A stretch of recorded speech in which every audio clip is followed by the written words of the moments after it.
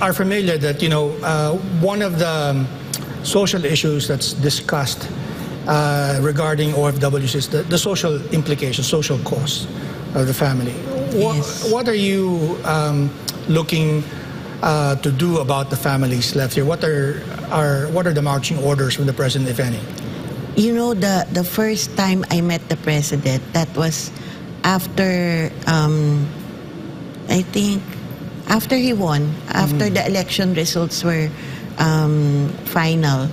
And um, he asked to see me, and I went to his house, and he was very particular about the children of OFWs, especially those who's, who uh, who's, who are growing up with both parents away. Abroad, yeah. Oo. So sabi niya, that's part of the social cost and we need to address that. And so he, he asked me to look at how we can develop programs for the families Okay. of migrant workers. Sabi niya, don't just focus on the workers. Okay. Let's help also the families. Well, so, yeah, this is quite interesting because you're, you you made it very particular that what you don't want to happen is intergenerational Yes, OFWs. yes. What, what do you have in mind? I guess is- this is is that part of what we're talking about here, Nana, when you're looking after their family, I suppose, Yes, right? Because there are like um, OFWs, uh, the, ma- the moms leave as kasambahays, Mm. and then yung mga anak ng babae, and then it, you know, Right. na- nagiging, it's a generational thing, no? Right. What we want is to look at reintegration pathways na pag umuwi na kasambahay, pero marunong magluto ng halal, o kaya marunong That's ng a big uh, business here in Asia. now. Yes, Yeah. marunong ng ano, mag ah, pwede nang mag-hotel housekeeping. Yeah. Oo. So we we are looking at and we want to work closely with TESDA on building those career pathways Right. for the most vulnerable workers. So pag umaakyat siya sa career ladder, Right.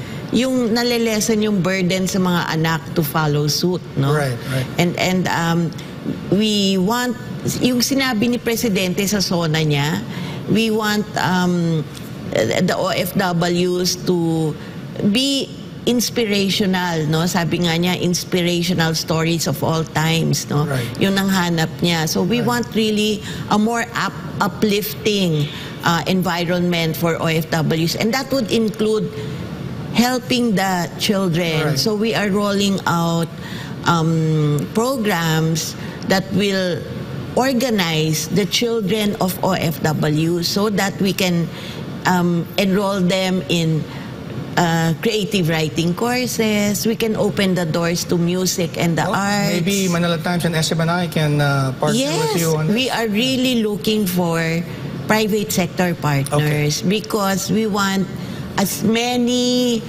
companies, Mm-hmm. NGOs, even schools and media orgas- organizations um, helping us in this mission. Right. Kasi you can just imagine if you have around 5 million OFWs uh, outside the country, just times four, no? On the Yeah. average, there's so many children that we need to reach out to.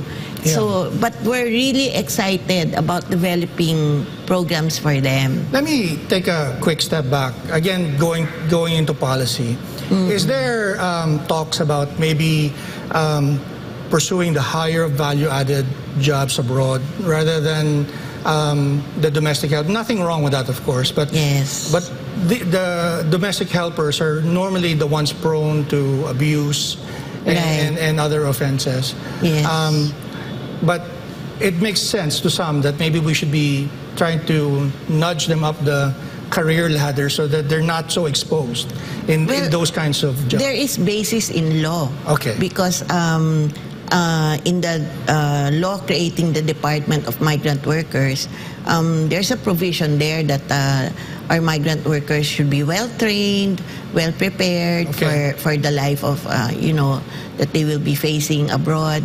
And um, tama ka, uh, Clint, no, that um, the skilled workers, especially the professionals, are protected by the very nature of the skills that they bring. Right. So the employers would not want to let them go. Right. They would take very good care of them kasi ayaw nilang mapirate. Right. Oo. Especially the nurses, the engineers. Nurses, yeah. Yeah, and yeah. and do you know that um, in Croatia, they, they uh, a delegation came to see me and they wanted to hire so many. Sabi nila, we are 95% Roman Catholic. Mm-hmm. So that's why we're interested in the Philippines.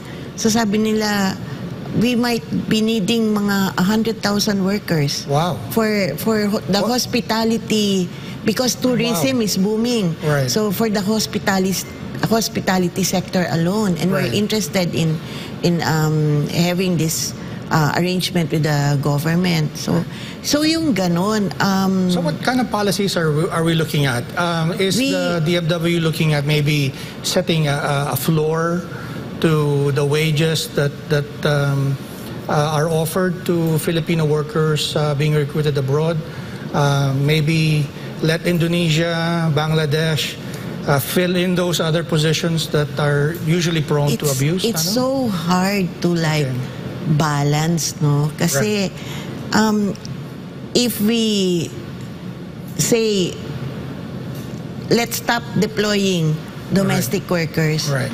they're bound to leave anyway. right. They'll find a way. They'll find a way, and then they leave unprotected. Right. So we, what we are looking at, um, is coming up with a different set of rules. So yung sa skilled and professional workers, we can have like um, quicker deployment. Kasi their their employers are easier to validate, no? May mga financial statements and and and and track records, multicultural yung work environment.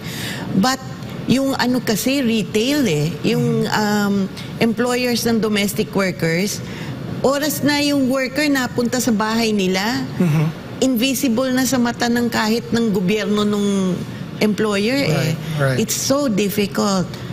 Um, but having said that, there's dignity in labor and there are also a lot of success stories involving our kasambahays. So what we want to do is have um, a more elaborate set of rules sa point of application pa lang, they should be trained and they should be uh, well prepared, country specific yung employment contracts. Okay.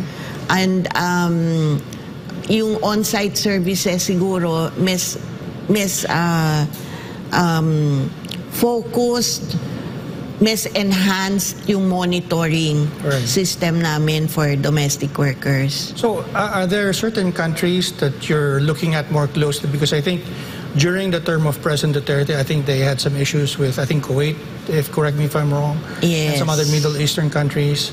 Uh, but I Yes. think they're trying, they were trying to resolve those issues, and I think what the Right. government was hoping for was some protection for the Filipinos being deployed there. I remember that uh, the Department of Foreign Affairs, uh, led Was by negotiating. Secretary Locsin and um, UMWA Undersecretary Sara um, Ariola, uh, the DFA then was very vocal about the kafala system, Okay. which is the sponsorship system na um, the employer holds the visa, Hmm. and and uh, that's why the passports are with the employers. Right, no? right. Um, but uh, that's a continuing conversation among states, the labor sending states and the labor receiving states. No, um, we are looking at country-specific employment contracts. We are also looking at reviving talks with Saudi Arabia. Okay. Um, they are very interested in um, hiring more Filipino construction Okay. workers and engineers for their Vision 2030 infrastructure development program. I think they they want to build a city out of nothing. yes. Yeah. It's a very ambitious plan. Yes, oo, and and they've been talking to us, and we're quite open about that. In fact, we're we're eager to also talk to them about that. But at the same time, we've been seeing a um, continuous flow of welfare cases involving our domestic workers. So that would have to be a separate conversation. I see. And and uh, with with more protective um, measures, no. And we're also we we've reached out to our Saudi counterpart, and um, we are looking at including in the talks a separate agreement against human trafficking Okay. against the trafficking of Filipino migrant workers. Kasi napapansin namin, nandito yung employer based Okay. sa POEA contract Right. and then nabebenta sa ibang employer and Right. then, which makes it absolutely difficult for us to monitor Right. the whereabouts and conditions of our workers. So what's the status of those talks? Uh, is it on a negotiation stage or you're finalizing the I- agreement? I Uh, have received a formal invitation from Okay. the Saudi government to visit them. Um, we are forming a technical working group that would um, make an inventory of all the issues.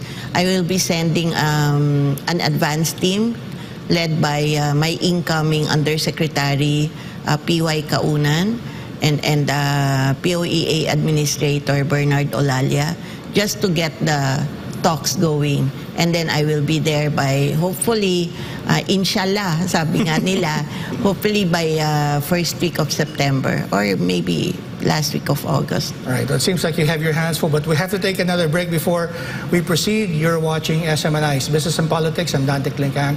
We'll be back shortly.